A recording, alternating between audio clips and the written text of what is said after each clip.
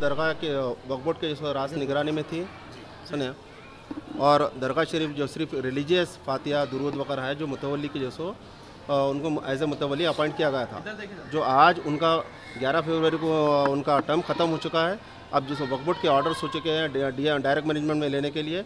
इसीलिए जो सो वक्फ बोर्ड के ऑर्डर्स के बिना पर हम वक्फ बोर्ड इंस्पेक्टर अब्दुल खादर साहब केटेकर में सैयद जलील अहमद साहब जो सो हमारे मसन साहब के साथ मिलकर जो सो हम ये एज्यूम चार्ज कर लिया आज।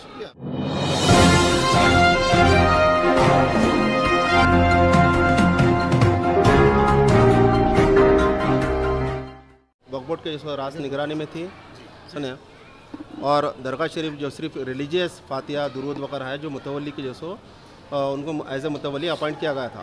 जो आज उनका 11 फरवरी को उनका टर्म ख़त्म हो चुका है अब जो वक्फ बोर्ड के ऑर्डर्स हो चुके हैं डायरेक्ट मैनेजमेंट में लेने के लिए। इसीलिए जो सो वक्फ बोर्ड के ऑर्डर्स के बिना पर हम वक्फ बोर्ड इंस्पेक्टर अब्दुल खादर साहब केटेकर में सैयद जलील अहमद साहब जो सो मस- अ, हमारे मसन साहब के अ, साथ मिलकर जो सो हम ये एज्यूम चार्ज कर लिया आज। ये ऑफिशियल वर्क है इसके नाम मुतवली नहीं है। तो कर दिया मुतवली साहब निज़ाम नहीं है। उनके वालिद साहब मुतवली है। सुनिए आप। और उन्होंने तो कभी साल में एक आध खुद आते हैं जैसे। हाँ आप लोग बाखबी वाकिफ़ है। सुनिए आप। अब उनकी गैर मौजूदगी में उन्होंने अपने एक ज़िम्मेदार शख्स को यहाँ से उन्होंने रखे थे जैसो ऑफ़िस खोलना करना जैसो।